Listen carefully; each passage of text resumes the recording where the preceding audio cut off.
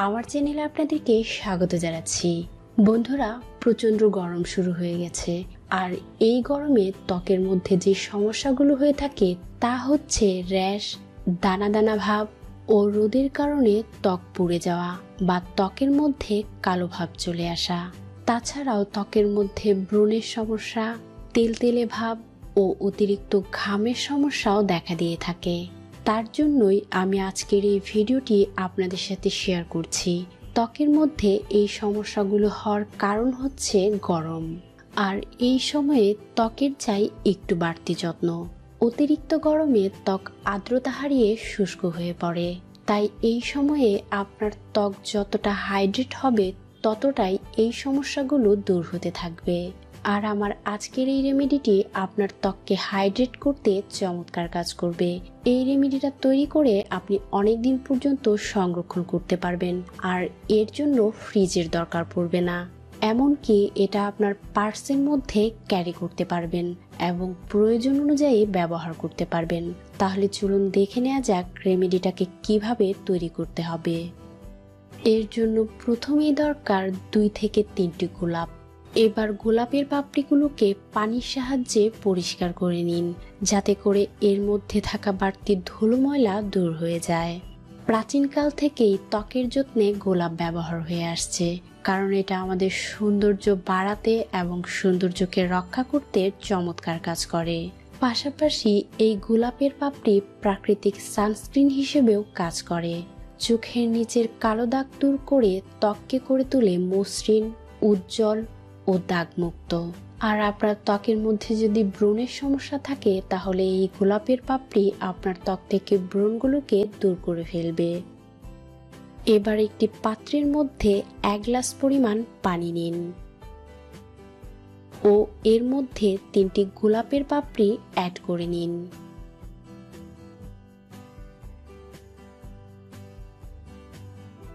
তারপর এই মিশ্রণটিকে চুলায় দিয়ে পানিটা অর্ধেক না হওয়া পর্যন্ত এটাকে ফোটাতে থাকুন।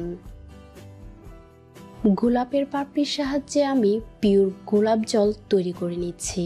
এই মিশ্রণটি ত্বকের বলিরেখা দূর করে ত্বক থেকে বয়সের ছাপ দূর করতে চমৎকার কাজ করে। এর মধ্যে প্রচুর পরিমাণে ভিটামিন সি, অ্যান্টিঅক্সিডেন্ট ও অ্যান্টিব্যাকটেরিয়াল গুণাগুণ রয়েছে, যা ত্বকের সৌন্দর্য বাড়িয়ে দিতে চমৎকার কাজ করে। পানিটা অর্ধেক হওয়ার পর এটা চুলা থেকে নামিয়ে নিন আর পুরোপুরি ঠান্ডা করে নিন।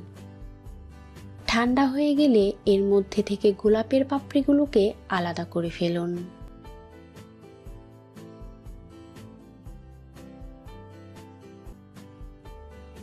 তৈরি হয়ে গেল পিওর গোলাপ জল। আর মার্কেটে থাকা গোলাপ জলের থেকে এই গোলাপ জলটি অনেক বেশি কার্যকরী।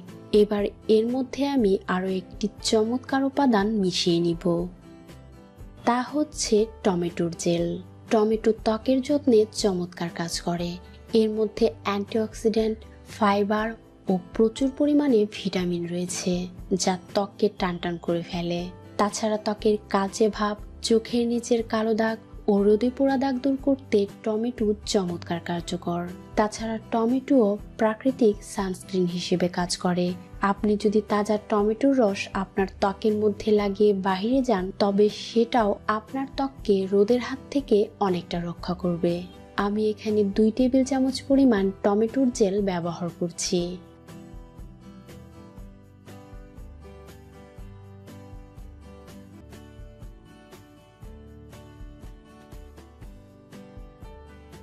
তারপর এই দুটোকে একসঙ্গে ভালো করে মিশিয়ে নিতে হবে।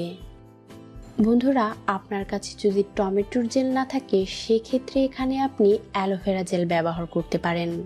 অতিরিক্ত গরমে যাদের ত্বক তৈলাক্ত নয়, তাদের ত্বকের মধ্যেও অয়েলি ভাব চলে আসে, যার কারণে ত্বকে অতিরিক্ত ধুলোবালি আটকে গিয়ে ত্বকের মধ্যে নানা ধরনের সমস্যা দেখা দেয়। আর এই মিশ্রণটি আপনাকে সেই সমস্যাগুলো থেকে দূরে থাকতে অনেক সহায়তা করবে। এটা ভালো করে মিক্স হয়ে গেছে। এবার এই মিশ্রণটিকে একটি স্প্রে বোতলে ভরে নিন।